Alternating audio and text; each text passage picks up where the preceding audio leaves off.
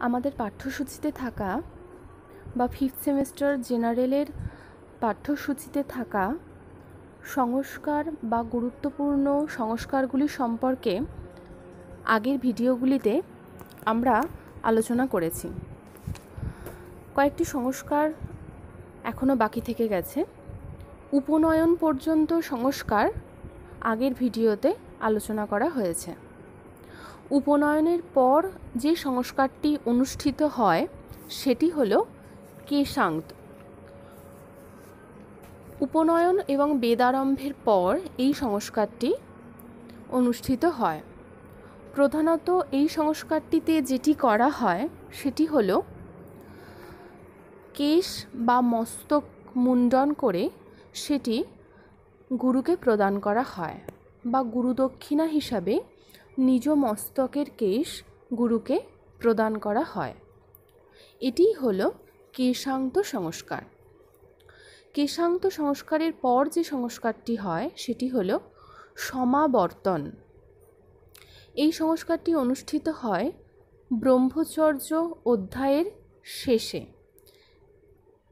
ব্রহ্মচারী হয়ে গুরুগৃহে কোনো ছাত্র যখন পড়াশোনা করে বা বিদ্যা গ্রহণ করে, সেই বিদ্যা গ্রহণের শেষে একজন ব্যক্তি যখন তার নিজ গৃহে ফিরে আসে, তখন এই সমাবর্তন সংস্কারটি অনুষ্ঠিত হয়।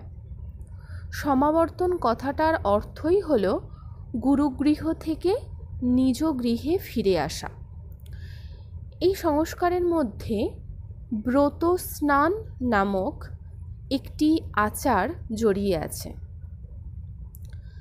এই ব্রত স্নানটি দীর্ঘ ব্রহ্মচর্য পালনের সমাপ্তিকে চিহ্নিত করে। এটি আসলে একটি আনুষ্ঠানিক স্নান, কারণ এটি শিক্ষার্থীর দ্বারা তার শেখার সমুদ্রকে অতিক্রম করার প্রতীক। আসলে সংস্কৃত শিক্ষাকে এখানে সমুদ্রের সাথে তুলনা করা হয়েছে।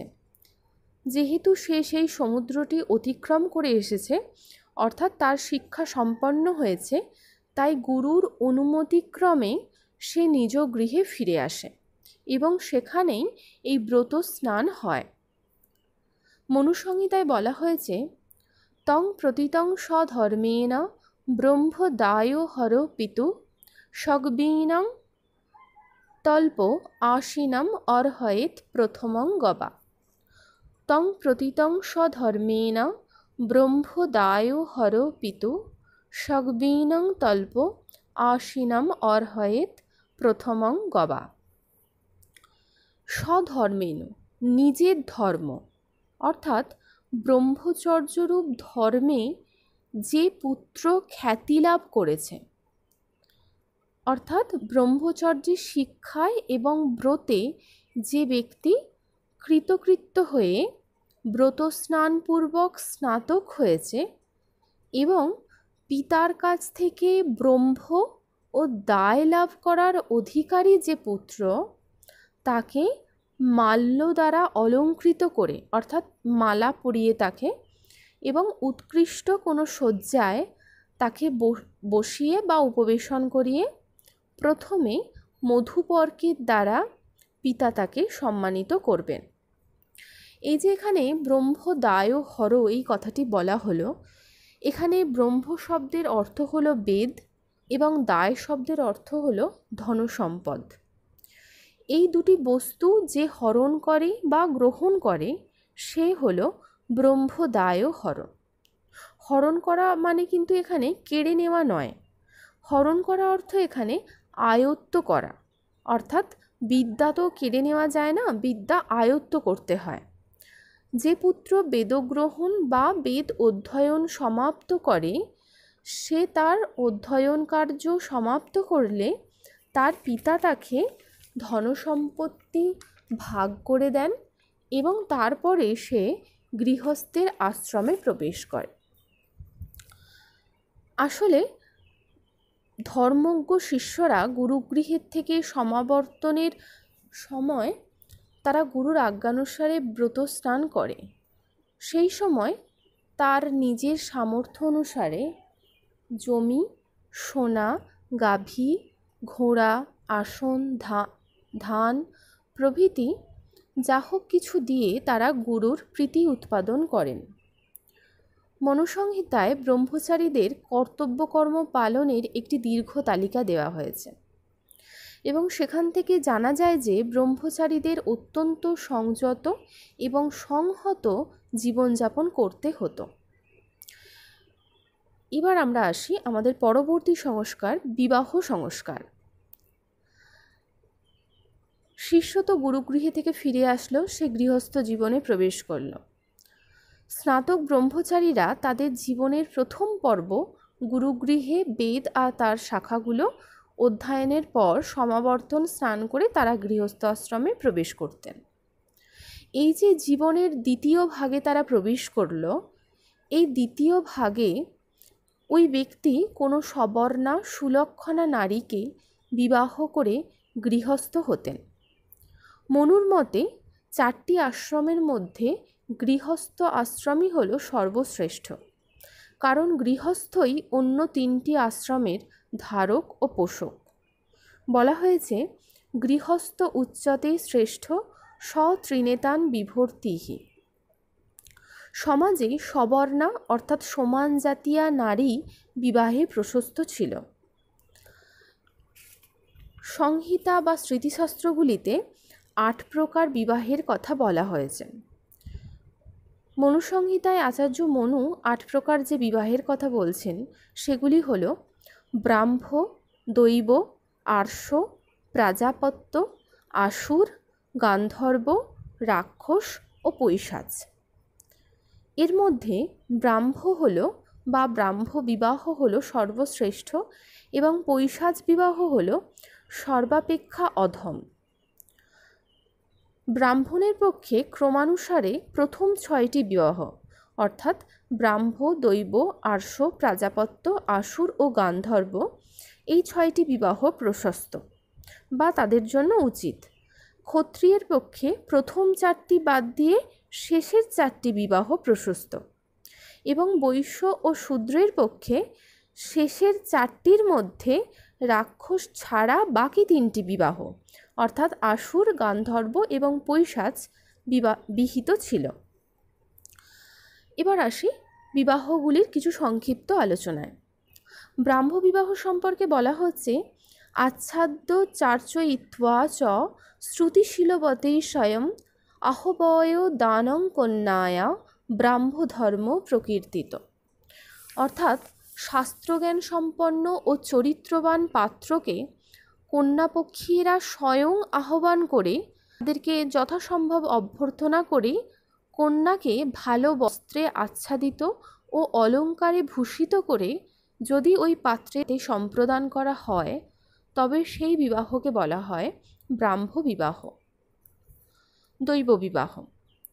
জ্যোতিষ্টম প্রভৃতি যাগযজ্ঞের অনুষ্ঠানের সময় সেই যজ্ঞে যিনি পৌরোহিত্য করেন, তাকে যদি শালঙ্কারা কন্যা দান করা হয়, তবে সেই ভোগে বলা হয় দৈব বিবাহ।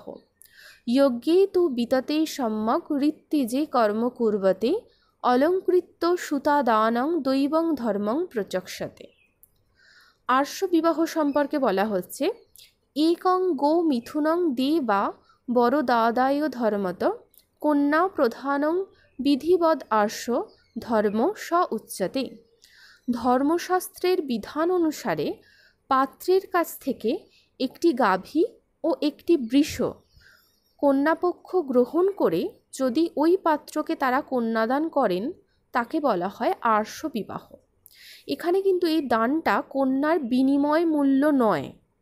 এখানে দানটা ধর্মসম্মত। প্রাজাপত্য বিবাহ। সহাভৌ চরতাং ধর্মমিতি বাচানুভাষ্য চ, কন্যা প্রদানম অভ্যর্চ্য প্রাজাপত্য বিধি স্মৃত অর্থাৎ কন্যা এবং তার স্বামী দুজনে একসাথে গার্হস্থ ধর্ম পালন করবে। এই প্রতিজ্ঞা করে পাত্রের কাছ থেকে স্বীকৃতি আদায় করে যথাবিধি অলঙ্কার প্রভৃতির দ্বারা সমাদর করে যে কন্যা সম্প্রদান করা হয় তাকে বলা হয় প্রাজাপত্য বিবাহ আশুর বিবাহ।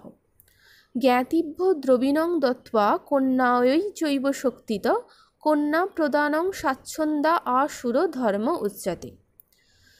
এই বিবাহে কন্যার পিতা বা অন্য কোনো গুরুজনকে ধনসম্পদ দান করে এবং কন্যাকেও স্ত্রীধনের মাধ্যমে যদি তার স্বামী গ্রহণ করেন, তাকে তাহলে বলা হয় আসুর বিবাহ। এরপরে হলো গান্ধর্ব বিবাহ। গান্ধর্ব বিবাহে সাধারণত কোনো গুরুজনের আশীর্বাদ বা অনুমতি থাকে না। এক্ষেত্রে গুরুজনের অনুমতি ছাড়াই পাত্র এবং কন্যা পরস্পর অনুরাগবশত যে বিবাহ করে বা তাদের যে বিবাহ সম্পন্ন হয় সেটিকেই বলা হয় গান্ধর্ব বিবাহ, রাক্ষস বিবাহ। বলপূর্বক যে বিবাহ সেটি হল রাক্ষস বিবাহ। বলা হচ্ছে, হত্বা ছিত্বা চ ভিত্বা চ ক্রুশন্তিং রুদতিং গৃহাৎ প্রসজ্জ কন্যা হরণং রাক্ষস বিধিরুচ্যতে এই যে রাক্ষস বিবাহ, এখানে কিন্তু কন্যাকে বলপূর্বক অপহরণ যদি কেউ করে, তাহলে যারা তাকে বাধা দেয়, তাদেরকে কিন্তু তারা বধ পর্যন্ত করতে পারে।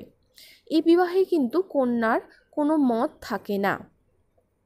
অর্থাৎ রাক্ষস বিবাহ কিন্তু বিবাহ সংস্কারের মধ্যে খুব একটা ভালো বা প্রশস্ত বিবাহ নয়। পৈশাচ বিবাহ।